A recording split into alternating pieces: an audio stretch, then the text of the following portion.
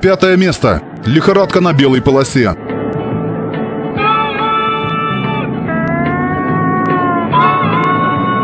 Сюжет канадско-американской драмы под названием «Лихорадка на белой полосе» во многом перекликается с содержанием других фильмов грузового жанра 70-х годов. Начинающий частный дальнобойщик, владелец бескапотного тягача «Форд» сталкивается с беззаконием и произволом со стороны местной крупной транспортной компании, не чурающейся самых жестоких методов воздействия начальников.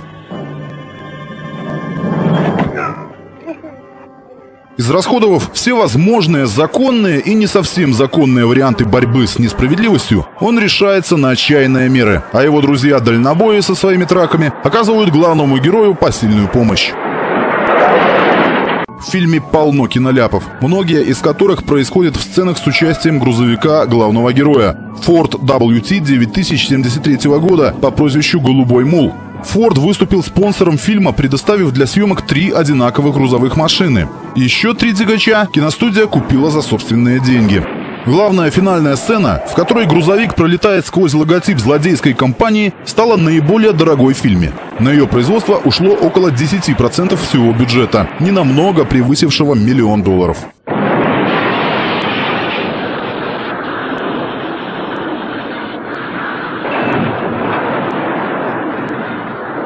«Лихорадка на белой полосе» вышла на большие экраны в 1975 году, когда фильмы и сериалы жанра тракинг начали набирать серьезные обороты. И хотя сегодня это наивное, малобюджетное кино может понравиться лишь большому любителю больших американских траков, в свое время оно привлекло к себе огромное внимание публики и окупило вложенные деньги более чем в 30-кратном размере. Общий вызов. Говорит резиновый утенок. Кто меня слышит? Прием. Четвертое место. Конвой.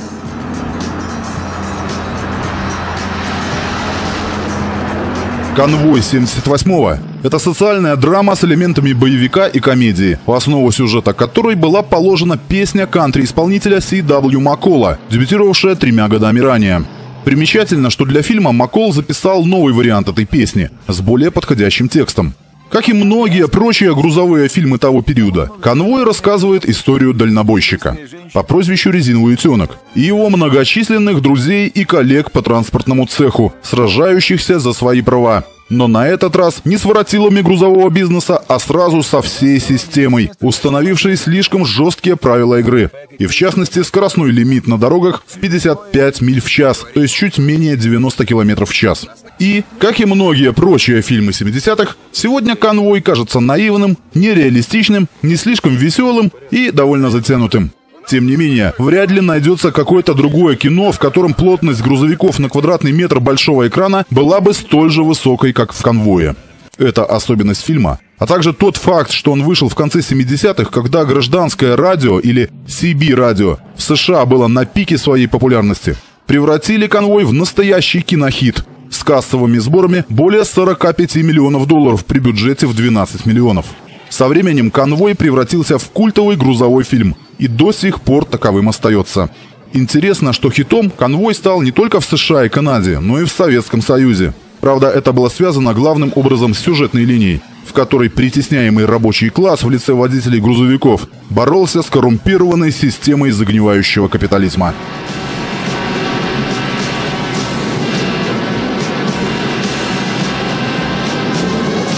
Роль резинового утенка в фильме «Конвой» сыграл Крис Кристоферсон, который в то время был известен не столько как актер, сколько как исполнитель фолк и кантри-музыки. Бригада религиозных хипарей в желтом автобусе, которая сопровождала автоколонну и в итоге увезла живого и невредимого главного героя с его новой девушкой Мелиссой в счастливое будущее, на самом деле в основном состояла из членов музыкальной группы Кристоферсона. Знаменитый черный грузовик резинового утенка – это Mac RS 712 1977 года, Однако во время съемок также использовалась модель Mac RS 700. Именно она и выступила в финальной сцене падении с моста. Но к этому времени съемочный грузовик был настолько сильно поврежден, что уже не мог двигаться своим ходом. И с моста на самом деле его столкнул бульдозер.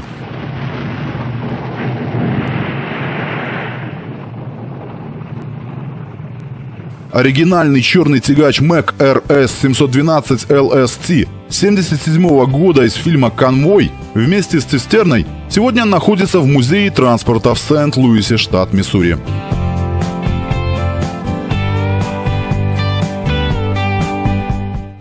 Бонд.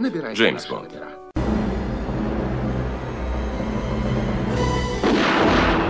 Третье место. Лицензия на убийство. 16-й в серии кинокартин о Джеймсе Бонде, фильм «Лицензия на убийство», выпущенный в прокат в 89 году, несмотря на смешанные от крайне негативных до восторженных отзывы критиков, оказался весьма успешным в прокате, почти в пятикратном размере окупив 32 миллиона долларов, потраченных на его производство. Негативные отзывы были связаны главным образом с тем, что фильм отличался от всех предыдущих серий более мрачным образом Бонда, которого сыграл Тимоти Далтон, и присутствием большего количества насилия на экране. Тем не менее, финальная десятиминутная сцена погони на грузовиках, в которой Бонд наконец разделался с плохими парнями, заставила даже самых закоренелых критиков высказать уважение к создателям картины.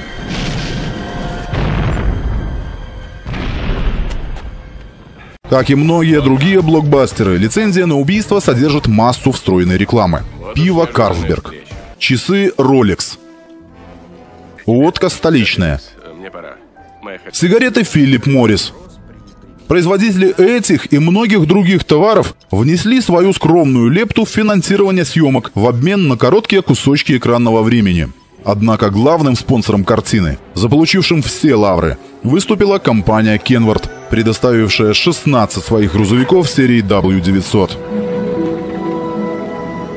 Три машины, получившие собственные имена Памела-1, Памела-2 и Памела-3, были серьезно модифицированы специалистами съемочной группы при поддержке инженеров из Kenworth. Мощность двигателей Detroit Diesel у этой троицы была доведена до 1000 лошадиных сил. Один грузовик обзавелся рамой на шарнирах, которая и позволила поставить его на дыбы. Этот трюк а также проезд грузовика с цистерной на одном ряду колес с приземлением на вражеский джип никогда ранее не использовались в кино.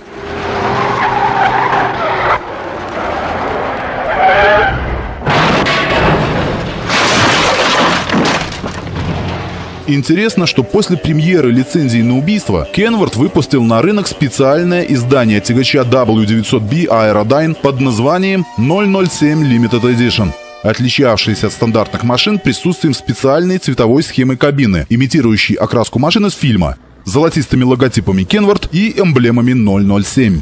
Кроме того, эта серия грузовиков имела улучшенное оснащение, в которое входила 300-ваттная аудиосистема с 8 динамиками, проигрывателем кассет и компакт-дисков, видеоплеер с телевизором и полутораметровый спальник с повышенным комфортом.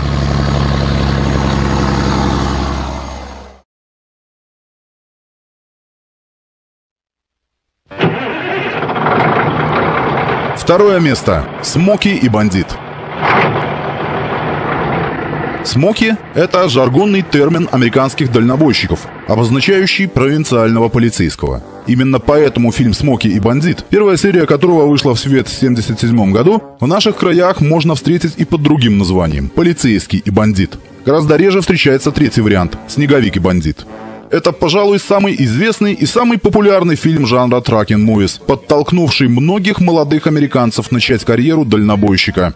Кроме того, фильм оказал сильнейшее влияние на распространение гражданского радио, а также популяризировал дальнобойный сленг, которого в оригинальной версии фильма было так много, что все дальнейшие релизы были отредактированы с использованием более традиционной лексики.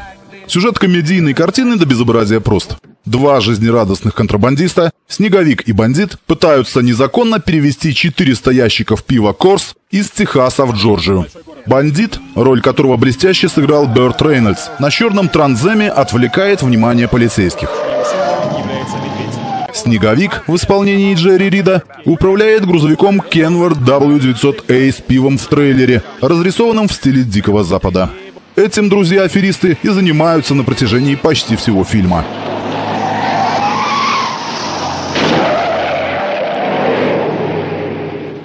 Прикол в том, что пиво Корс в те времена можно было продавать только в западной части Соединенных Штатов, тогда как на востоке США оно было официально недоступно, вследствие чего имело некий мистический статус в восточных штатах.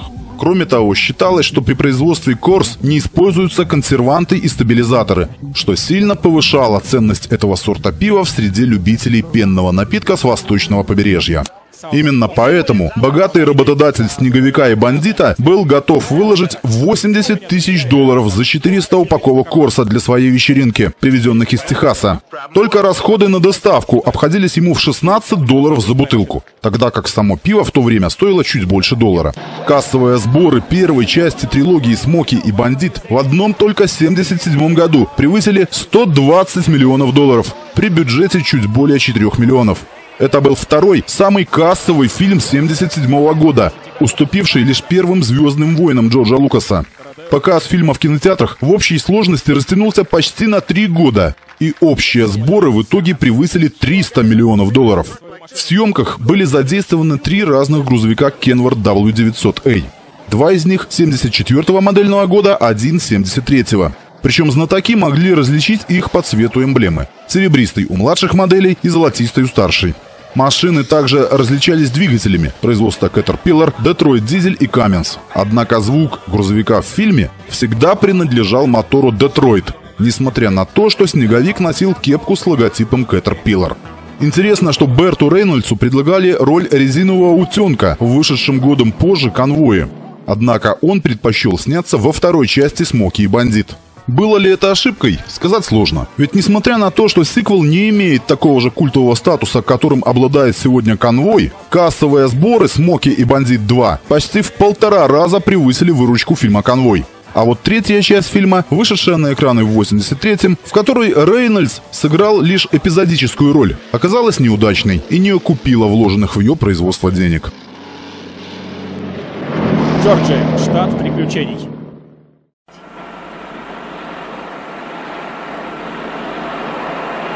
Первое место. Дуэль.